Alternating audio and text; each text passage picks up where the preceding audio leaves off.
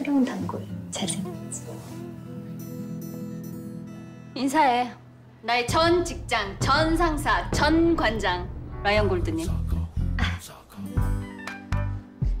여기 단골이세요? 혹시나 해서 여쭤보는 건데 앞으로도 계속 오실 예정인가요? 설마? 시간 있어요? 네. 어떤 분 덕분에 직장에서 잘려서요. 시간이 아주 많아요. 난 없어요. 어떤 분이 뒤통수를 쳐서. 주문이나 받죠? 어떤 걸로 드릴까요? 연유 넣은 따뜻한 우유. 손님, 그런 메뉴는 없는데요.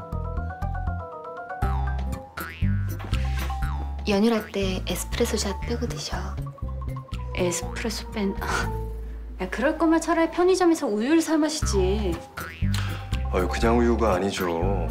연유가 그쪽에 정성이 들어갔는데. 빼라면 빼요.